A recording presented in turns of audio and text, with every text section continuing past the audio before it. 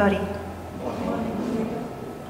Today is Aboriginal Sunday and Acknowledgement of Country.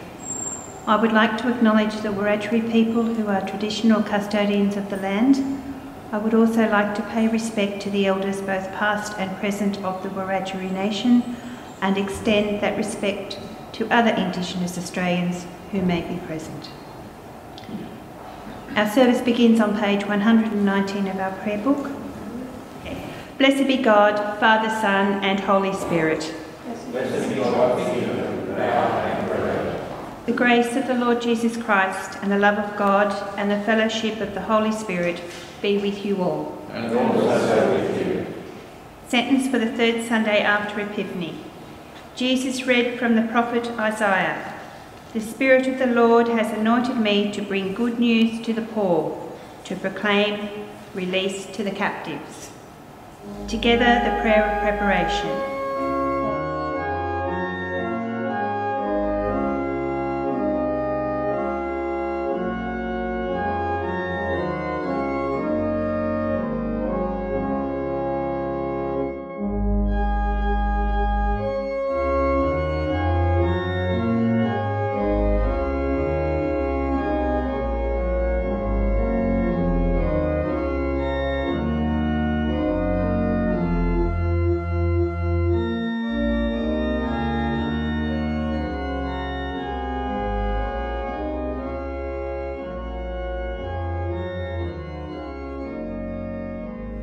Lord be with you.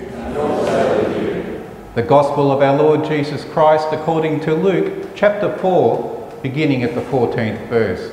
Glory to you, Lord Jesus Christ.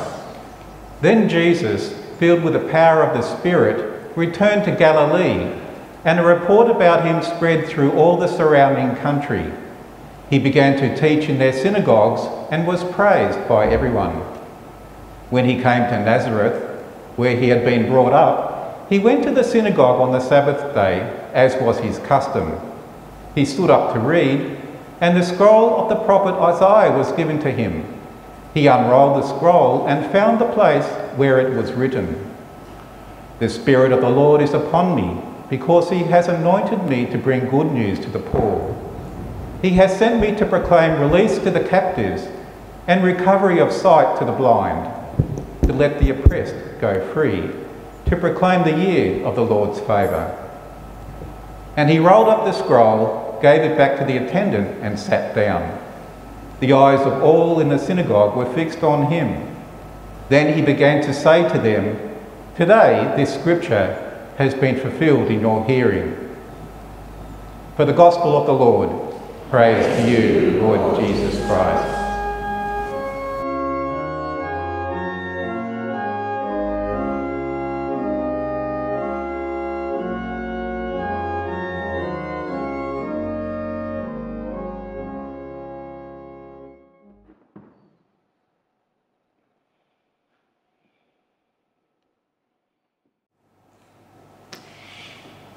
Please sit down.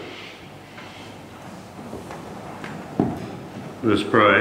Heavenly Father, we pray that the words of my mouth and indeed the meditations of all our hearts may be acceptable in your sight, O Lord, our strength and our Redeemer. Can you think, can you think of an event that's changed your life? Or maybe a number of events, circumstances, different place you've been in? Marriage.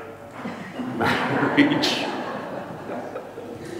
for the better or for the worse? oh dear. Uh, when I was a young man, I was growing up in idyllic conditions, really, in Sutherland Shire, um, or the Shire as they call it. It's the place where all the hobbits are, is, is that right? Uh, love life, love school, particularly the social side of things, the mates, Friday nights, out and about, you know what it's like. Parties, playing football on the weekends, going to the beach at Cronulla and helping with the surf patrols on the beach. All very lovely. Great, stable, happy family life. Things were great. It was heaven. It is true to say I never worried about much and really didn't think deeply about life, didn't have to. Well, things do change, don't? Because life is not like that. I remember when I joined the New South Wales Police, after leaving school at the ripe old age of 18 years and 11 months, it was time when I guess things changed, the circumstances changed and things happened. It was a time when I guess that I grew up. The first time when I was personally and emotionally challenged about life. Seeing the hardness the violence, the corruption at every level, level of society, seeing evil played out in the lives of individuals on a level that is really hard to imagine. For the first time in my life, I actually encountered Aboriginal people and their culture. Living and growing up in the Shire, as they called it, I never encountered any Indigenous people. Didn't know any, didn't have any association with them. The only thing I knew about Aboriginal people was what was written in books by white people. So what I witnessed as a police officer shocked me. I saw in Redfern, in the inner city area of Sydney, in the 1970s, a culture that had been socially engineered by government policy of the day.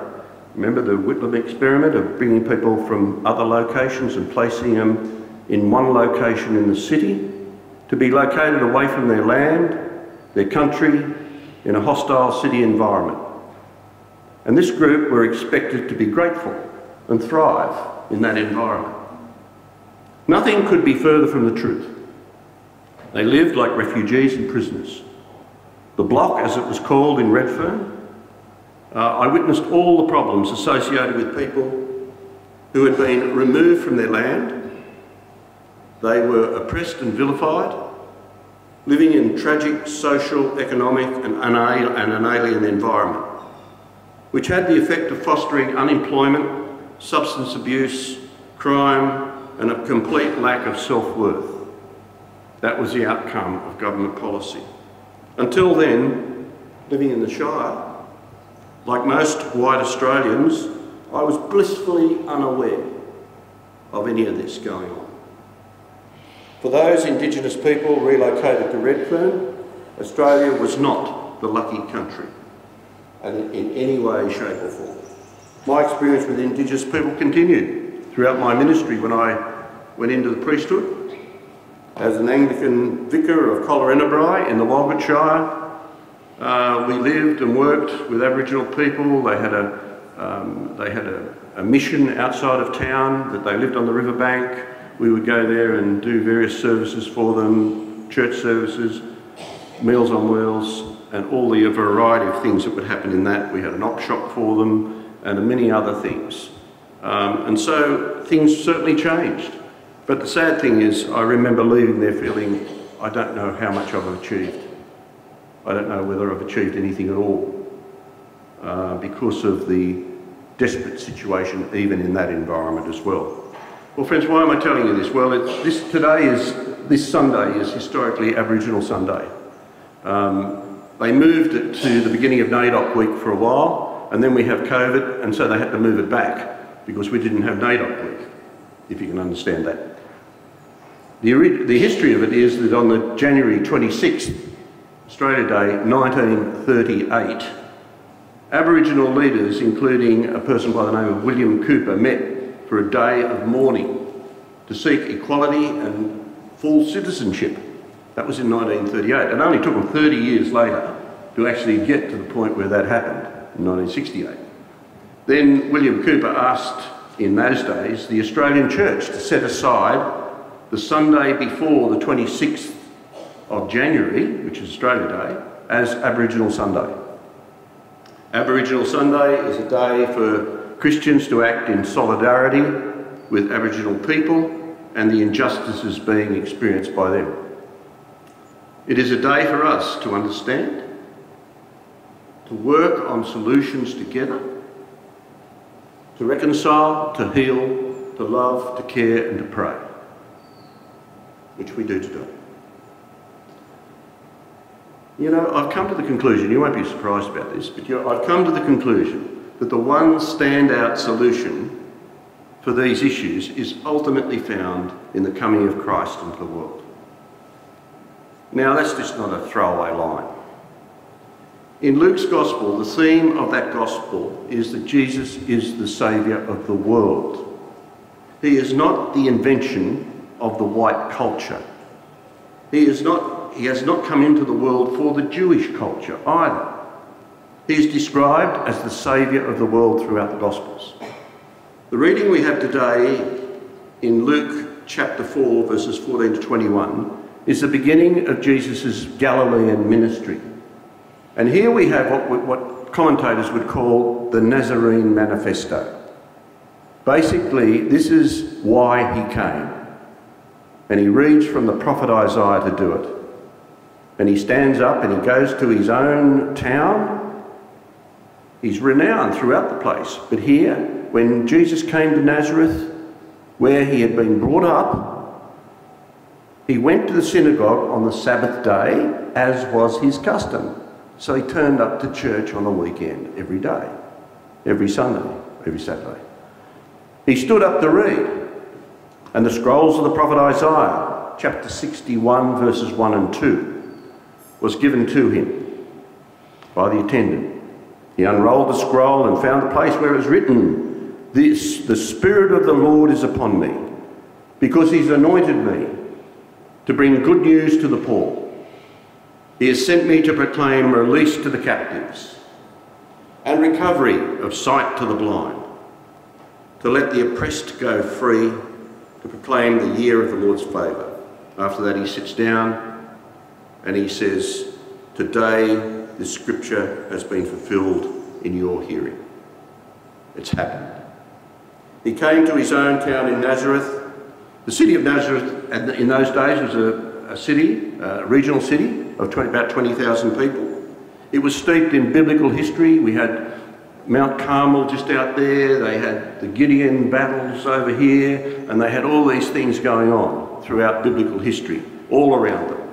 If you stood on the hill in Nazareth and it was up on a rise, you could look across to the misty haze and see the blue of the Mediterranean Sea. Jesus is rostered to read and to expound the scriptures, is what they did. The Old Testament scriptures were, were given to him and they were written on scrolls of animal hide, of very soft, thin leather. He would have read the passage in Hebrew and it would have been translated into Aramaic by an, an attendant who was a translator, because that was the popular language of the day. And so he reads from Isaiah 61, verses 1 and 2. It was a prophecy about the coming of the Messiah, the Lord God.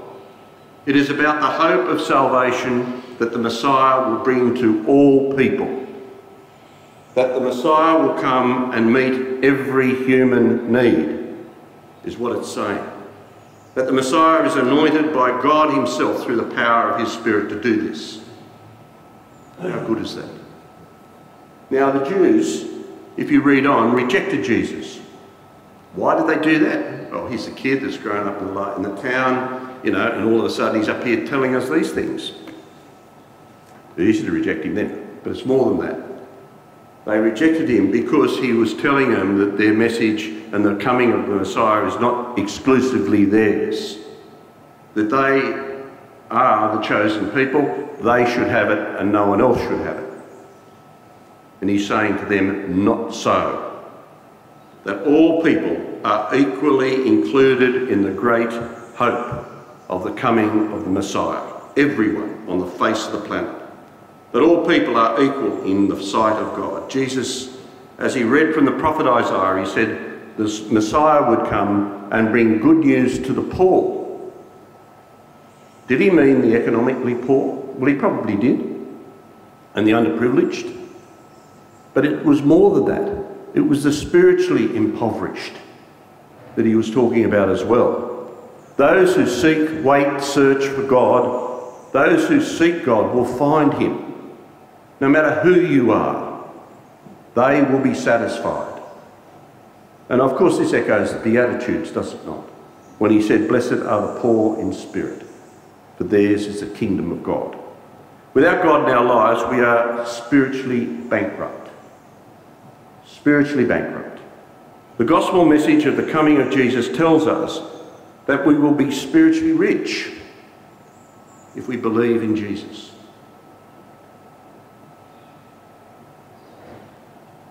The next part of the manifesto was he sent me to proclaim release to the captives, those who are oppressed by others, not necessarily in jail, it could be, but those who feel imprisoned by their own life.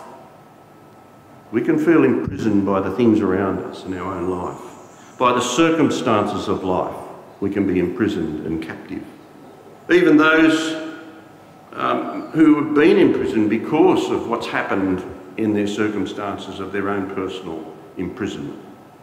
The alternative to all of this, Jesus says that he has come.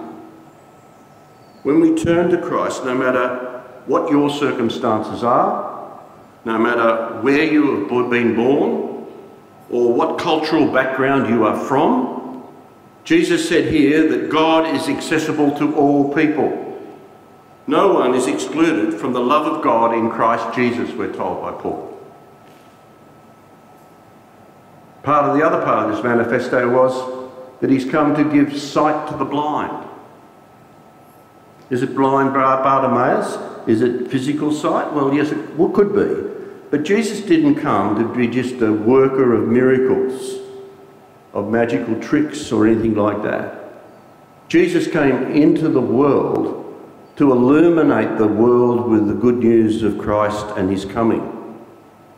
A world where we live in dark places at times. And we do. And we stumble around in those dark places. And we get lost in those dark places. We do not know where we are going or where we are heading at times. No purpose or direction. We just simply exist until we die. Not good enough if you are in a dark place, or if you can see no light or life, or if you feel that you have no future or despair, that's what Jesus has come for. Remember the Manning Clark, that great historian from Sydney University, who talked about living and being born into a fog. And we live in a fog and we stumble around and we trip over things because we can't see clearly what's going on behind us or in front of us.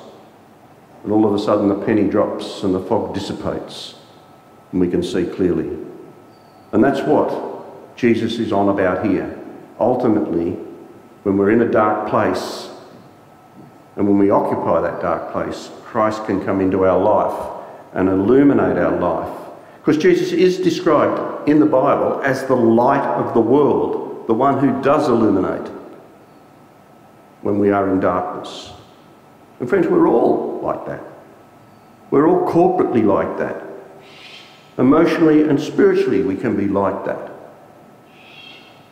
The next thing about this manifesto is it says, He will release the captives.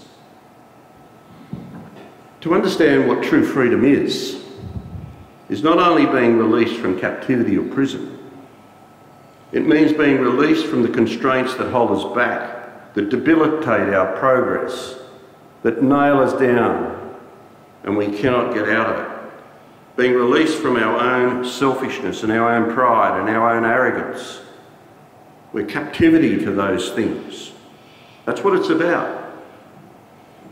I remember when I was the rector of, um, or the vicar, as they called him in those days, of Collarenebri, up in the Walgett Shire. I had a church warden by the name of Bobby Williams. Bobby had clay feet like all of us, but he was a proud Aboriginal man. I saw in his life the transforming power of God and his family's life. It was very interesting that Bobby was a man who was never out of a job. And one of the job that he did have was he'd dig fence posts. He'd make them and dig holes and put fence posts in. There are a lot of fence posts in Collarenebri and the Walgett Shire. And that's what he did from sunrise to sunset. So it was a tough environment. He didn't drink alcohol, and in many ways he was a beacon, not only to our community, but to the Indigenous community as well. You see the transforming power of God in people's lives. He had an Aboriginal Bible study and he would work tirelessly with the Aboriginal people. And he was vilified for that as well.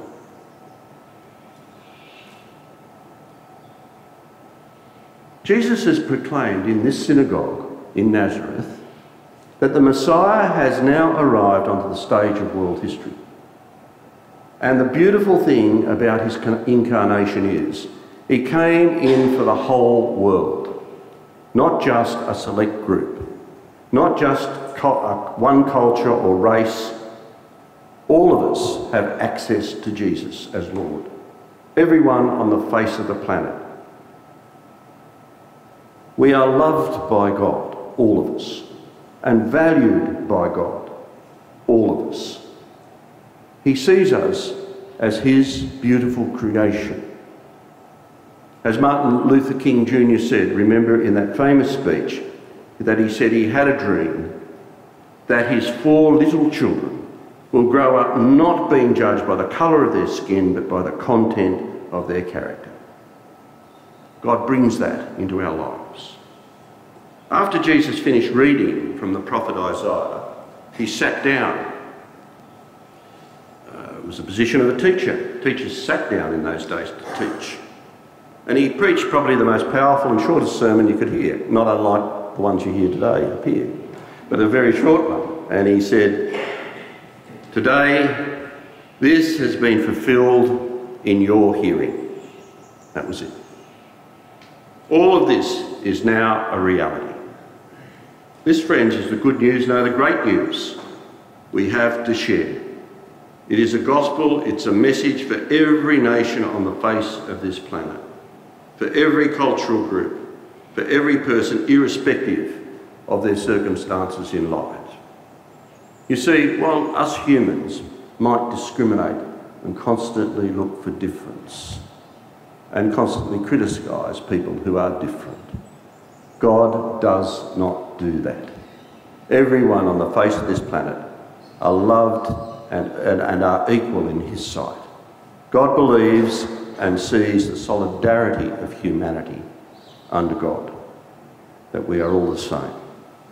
We are all unique godlike creatures created in his image after his own likeness. It's a message we really need to take on board as we go out there and as we live with our prejudice, our discrimination, and all these things that drive wedges between people God is not like that. So let us go out there triumphantly today, thinking about the solidarity of humanity under God. And may God bless and keep us as we do that together. In the name of the Father, Son, and Holy Spirit. Amen.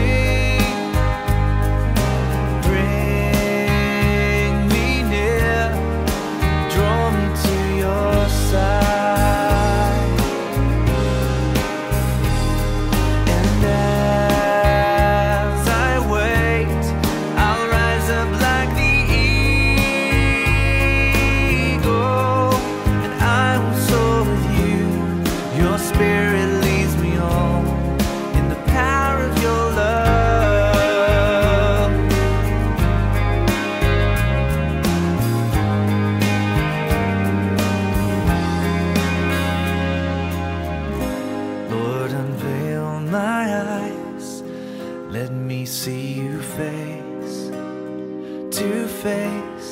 The knowledge of your love as you live in